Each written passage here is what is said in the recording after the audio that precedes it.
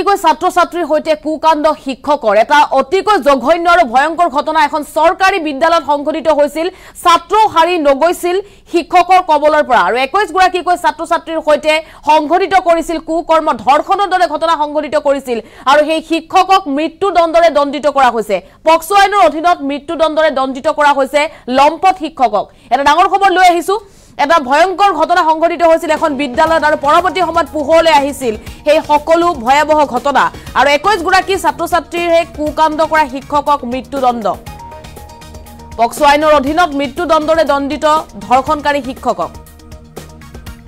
দুহেজাৰ ঊনৈছ চনৰ পৰা দুহেজাৰ বাইছ চনলৈ বিদ্যালয়ত কামনাৰ বলি হৈছিল ছাত্ৰ ছাত্ৰী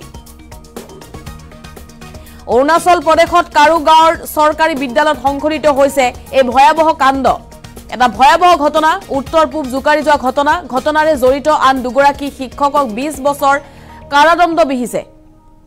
মৃত্যুদণ্ডৰে দণ্ডিত কৰা হৈছে হোষ্টেল ৱাৰ্ডেন ঝুমকেন বাগ্ৰাক। লম্পট শিক্ষকৰ পৰা বাচি যোৱা নাছিল বিদ্যালয়ৰ নাবালক ছাত্ৰও। ছাত্ৰ ছাত্ৰী কোনো বাচি যোৱা নাছিল। ধৰ্ষণৰ বলি হোৱা একৈশ নিৰ্যাতিতৰ নগৰাকী কন্যা আৰু আন অধিকাংশই আছিল নাবালক ছাত্ৰ। শিশুসকলক অশ্লীল ছবি দেখুৱাই ধৰ্ষণ কৰাৰ অভিযোগ উঠিছিল তিনি শিক্ষকৰ বিৰুদ্ধে। দুই শিক্ষকক বিছ বছৰ সশ্ৰম কাৰাদণ্ড বিহিছে আদালতে। এগৰাকীক মৃত্যুদণ্ডৰে দণ্ডিত কৰিছে। তিনি শিক্ষকৰ এগৰাকী শিক্ষক আছিল মহিলা। আৰু হিন্দী শিক্ষক হিচাপে নিয়োজিত আছিল বত্ৰিশ বছৰীয়া মহিলাগৰাকী। এটা দেশ কঁপাই যোৱা ঘটনা এখন বিদ্যালয়ত সংঘটিত হৈছিল। প্ৰথম অৱস্থাত অৰুণাচলৰ বিশেষ আদালতে জামিন প্ৰদান কৰিছিল মূল অভিযুক্তক। গুৱাহাটী উচ্চ ন্যায়ালয়ৰ হস্তক্ষেপত জামিন বাতিল কৰি চৌমত গোচৰ ৰুজু কৰিছিল। পাঁচ বছৰ পাছত অৰুণাচলৰ পক্সো আদালতে মৃত্যুদণ্ডৰে দণ্ডিত কৰিছে ঝুম কেন বাগ্ৰাক। আৰু একৈশ গৰাকীকৈ ছাত্ৰ ছাত্ৰীৰ সৈতে বিদ্যালয়ত এই কুকাণ্ড সংঘটিত কৰিছিল জঘন্য ঘটনা সংঘটিত কৰিছিল তিনি শিক্ষকে। আৰু তাৎপৰ্যপূৰ্ণ বিষয় এই তিনি শিক্ষকৰ এগৰাকী বত্ৰিশ বছৰীয়া মহিলা আছিল। আৰু বত্ৰিশ বছৰীয়া মহিলাৰ লগতে আন এগৰাকী শিক্ষকক বিছ বছৰ কাৰাদণ্ড বিহিছে আৰু মূল অভিযুক্তক মৃত্যুদণ্ডৰে দণ্ডিত কৰিছে পক্সো আদালতে।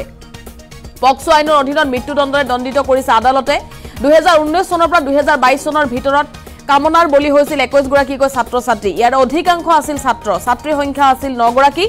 অৰুণাচল প্ৰদেশৰ কাৰু গাঁৱৰ চৰকাৰী বিদ্যালয়ত এই দেশ কঁপাই যোৱা জঘন্য কাণ্ড সংঘটিত হৈছিল।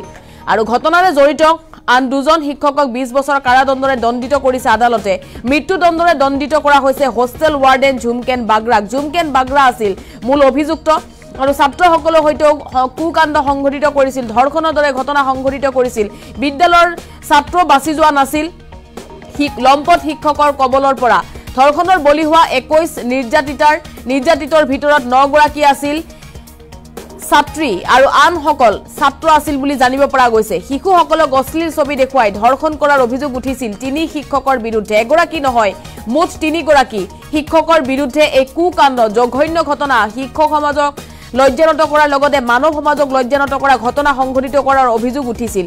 আৰু তিনি শিক্ষকৰ এগৰাকী মহিলা আছিল হিন্দী শিক্ষক হিচাপে নিয়োজিত আছিল বত্ৰিশ বছৰীয়া মহিলা শিক্ষকগৰাকী। প্ৰথম অৱস্থাত অৰুণাচলৰ বিশেষ আদালতে জামিন প্ৰদান কৰিছিল। মূল অভিযুক্তক। আৰু গুৱাহাটী উচ্চ ন্যায়ালয়ৰ হস্তক্ষেপত জামিন বাতিল কৰি চৌমত গোচৰ ৰুজু কৰা হৈছিল। পাঁচ বছৰ পাছত অৰুণাচলৰ পক্সো আদালতে মৃত্যুদণ্ডৰে দণ্ডিত কৰিছে হোষ্টেল ৱাৰ্ডেন ঝুমকেন বাগ্ৰাক। এটা অতিকৈ লজ্জাজনক ঘটনা। এখন চৰকাৰী বিদ্যালয়ত সংঘটিত হোৱাৰ পাছতেই তীব্ৰ প্ৰতিক্ৰিয়াৰ সৃষ্টি হৈছিল অৰুণাচলত আৰু পৰৱৰ্তী সময়ত পক্সো আইনৰ অধীনত মৃত্যুদণ্ডৰে দণ্ডিত কৰা হৈছে মূল অভিযুক্ত ঝুমকেন বাগ্ৰাক।